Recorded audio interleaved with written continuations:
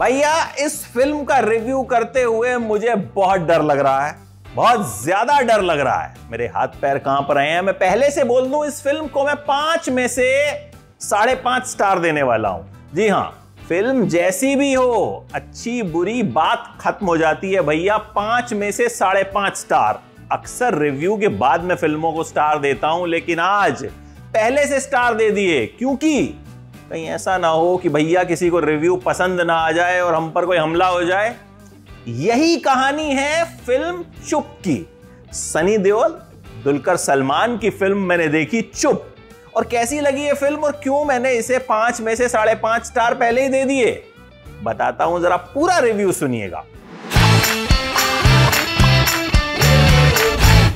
ये कहानी है फ़िल्म क्रिटिक्स की। जी हाँ हमारे जैसे लोगों की जो आपको बताते हैं कि कौन सी फ़िल्म देखें और कौन सी ना देखें, अब भाई, हमको जैसी फ़िल्म लगती है, हम आपको बताते हैं। अगर अच्छी नहीं लगती तो हम कहते हैं अच्छी नहीं है, अच्छी लगी तो कहते हैं अच्छी है, देख लीजिए।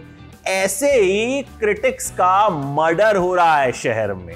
एक के बाद एक एक सीरियल किलर है जो क्रिटिक्स का मर्डर करता है और उनके माथे पर स्टार्स बना देता है। जी हाँ वही स्टार जो मैंने इस फ़िल्म को पहले ही पाँच में से साढ़े पाँच दे दिए हैं। सनी देओल पुलिस वाले हैं, उन पर ज़िम्मेदारी है उस कातिल को ढूँढने की, उस सीरियल किलर को ढूँढने की। अब ऐसा भी नहीं है कि किसी फ़िल्म को खराब रेटिंग दी तो ही मर्डर हो रहे हैं। भैया, अच्छी रेटिंग देने पे भी मर्डर हो रहे हैं। अब ये क्या मामला है? और बीच में गुरुदत्त का एंगल आ जाता है। गुरुदत्त की आखिरी फ़िल्म कागज़ के फूल का ज़िक्र हो जाता है। और घटनाक्रम कुछ इस तरीके से घूमते हैं कि आपका दिमाग भी जो है वो घूम जाता है। अब भैया, यही कहानी है कि क्रिटिक्स का मर्डर हो कौन रहा है? कौन कर रहा है? सनी देओल इन्वेस्टिगेट करते हैं, क्या कुछ करते हैं, वही फ़िल्म की कहानी है। कहानी ठीक ठाक है, अच्छी है, आपको बांधे रखती है। आर बाल्की ने यह फ़िल्म लिखी है, आर बाल्की ने डायरेक्ट की है। कमाल के फ़िल्म मेकर माने ही जाते हैं आर बाल्की। और यहाँ भी आर बाल्की ने दिखा दिया कि भैया फ़िल्में बनाना उनको बहुत अच्छे से आता है। देखिए फ़िल्म में सस्पेंस बना रहता है, लगातार बना रहता है।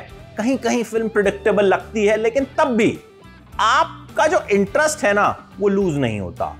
फ़िल्म में कुछ कुछ सीन देखकर आप हैरान रह जाते हैं, आप हिल जाते हैं।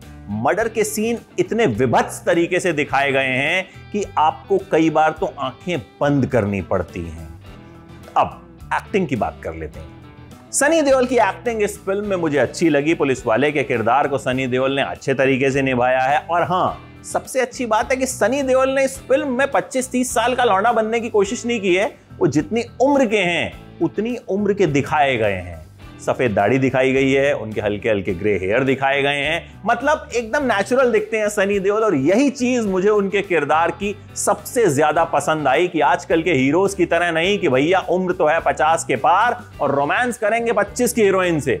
वैसे रोमांस इसमें सनी देओल करते ही नहीं है। इस फ़िल्म में एक्टिंग के मामले में बाजी मार ले गए हैं दुलकर सलमान। दुलकर सलमान ने क्या कमाल की एक्टिंग की है, आप उनके फ़ैन हो जाते हैं। दुलकर सलमान एक एक फ्रेम में छाए हुए हैं। दुलकर सलमान ने इस तरह से अपने किरदार को निभाया है कि बस उन्हें देखकर मज़ा आ जाता है। श्रेया धनवंतरी भी हैं इस फ़िल्म में और उन्होंने भी अपने किरदार को ज़बरदस्त तरीके से निभाया है। श्रेया की एक्टिंग एकदम टॉप नॉच है। पूजा भट्ट बड़े पर्दे पर नज़र आई हैं बहुत वक्त बाद और मुझे पूजा भट्ट को देखकर मज़ा आया। कम से कम मुझे लगा कि पर्दे पर कुछ अलग देखने को मिला, वरना पिछले दिनों हमने कुछ एक फ़िल्में ऐसी देखी हैं जिनमें लगा कि यार वही सब दिख रहा है। देखिए, मुझे कुल मिलाकर यह फ़िल्म अच्छी लगी। हाँ भले ही ये फ़िल्म क्रिटिक्स के बारे में है, भले ही ये फ़िल्म क्रिटिक्स को क्रिटिसाइज करती है, लेकिन फ़िल्म कहीं ना कहीं आपको बांधे रखती है, फ़िल्म आपको एंटरटेन करती है, आपको फ़िल्म देखकर मज़ा आता है। अब असली रेटिंग की बात कर लेते हैं। मतलब डर तो लग रहा है मुझे रेटिंग देते हुए, लेकिन फिर भी भैया काम तो करना है, ये फ़िल्म भी यही बताती है कि अगर फ़िल्म अच्छी है तो उसको अच्छी कहो, बुरी है तो बुरी कहो। तो ये मेरे हिसाब से एक अच्छी फ़िल्म है और मैं इसे दूँगा पाँच में से तीन नंबर